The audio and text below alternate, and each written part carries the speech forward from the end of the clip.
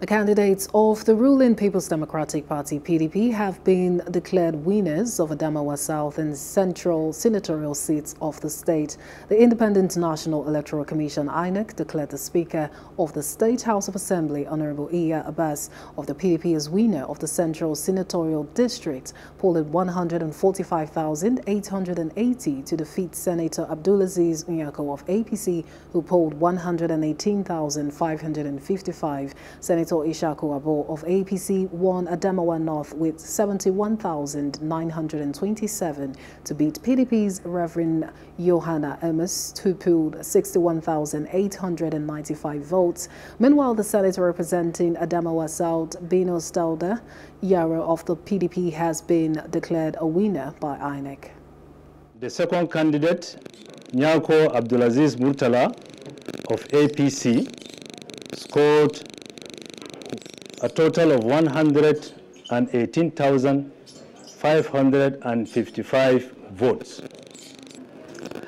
Uh, the next candidate is Abbas Aminu Iya of the PDP, who scored a total votes of 145,880 and 80.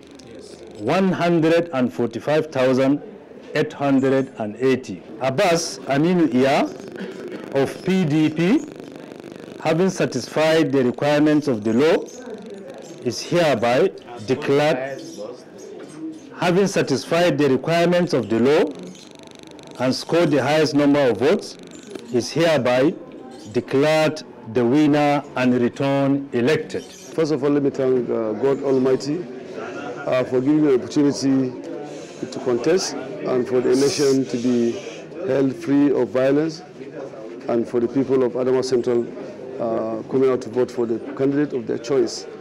Uh, I want to call on all the citizens of Adama uh, Central that I am their senator, God willing, not the senator of PDP or APC or whatever party.